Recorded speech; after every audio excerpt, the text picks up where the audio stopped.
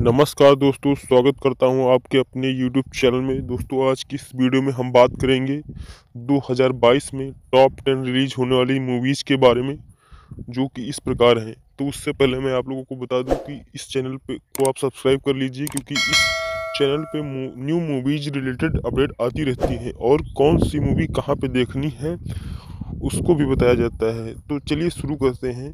तो सबसे पहले बात करेंगे हम दसवें नंबर मूवी की, जो कि आदि पुरुष है।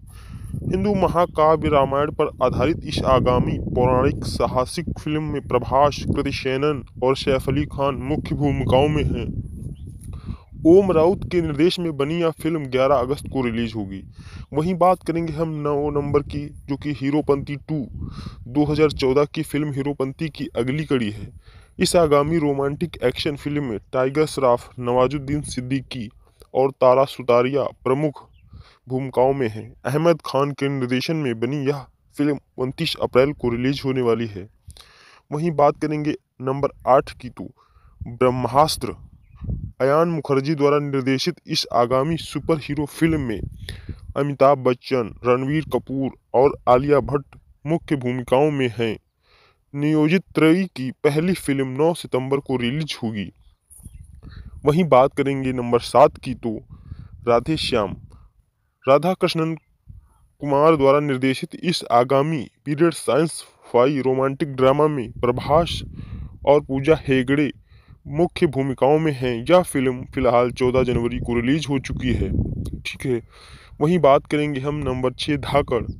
रजनीश घाई द्वारा निर्देशित इस आगामी एक्शन थ्रिलर में राजू रा, अर्जुन रामपाल और दिव्या दत्ता के साथ कंगना रनौत मुख्य भूमिका में हैं।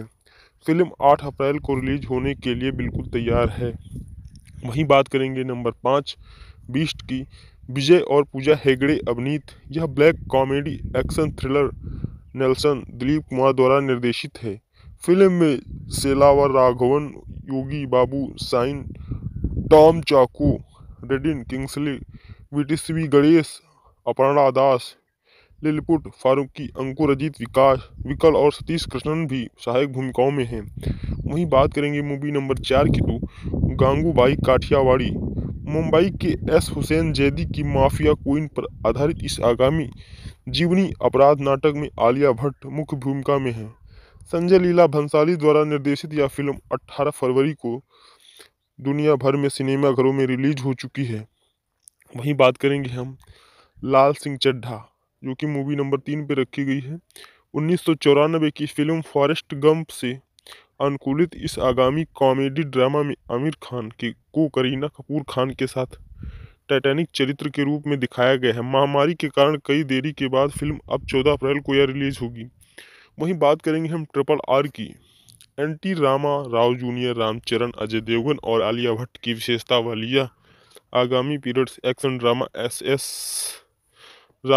Rajamouli द्वारा निर्देशित है और यह मूवी 18 मार्च को रिलीज़ होगी।